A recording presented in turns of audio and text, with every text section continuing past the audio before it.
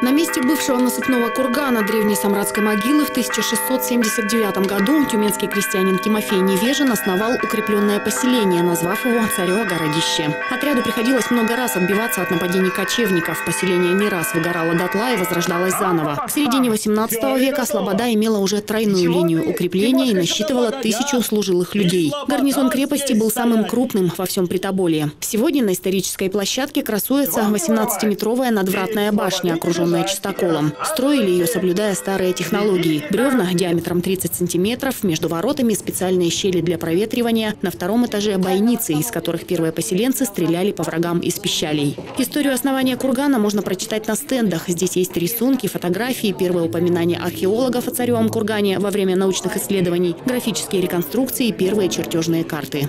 На реализацию проекта ушло менее полугода, рассказывает автор Владимир Хорошаев. В дальнейшем экспозиция будет расширена, равно как и территория площадки. Планируется построить здесь древнюю избу с элементами утвари, кузницу, разбить парковую зону. Мы начали эту работу, проектирование начали где-то в апреле. И вот, понимаете, сегодня в августе у нас уже здесь стоит сооружение.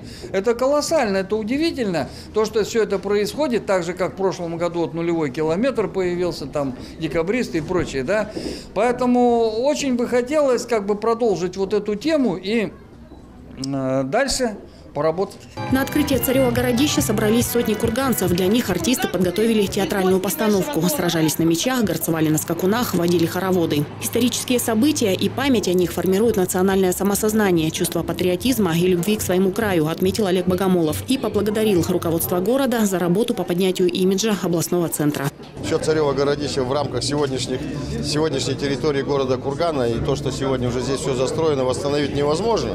Но хотя бы фрагмент вот главной башни э, входа в Царево городище мы восстановили. И это, это правильно. Я, я просто еще раз благодарю э, руководство города, вот, Павла Михайловича, всех наши, наши инициативные группы, инициаторов, кто сегодня занимается проблемой, э, реализует программу «Любимый, любимый город», потому что это крайне важно. У нас каждый год появляется что-то новое.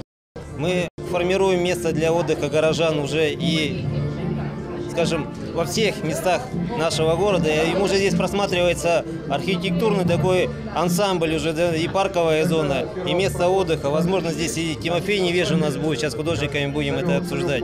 Так что, чем больше таких мест отдыха будет для наших курганцев, тем будет интереснее и комфортнее здесь жить следующем юбилейном для Кургана году в областном центре установят памятник Тимофею Невежину. Эскиз монумента уже утвержден. В творческом конкурсе победил проект скульптора Ольги Красношеиной, выпускницы Российской академии живописи «Ваяние из отчества». Одним из мест его размещения может стать историческая площадка «Царево городище».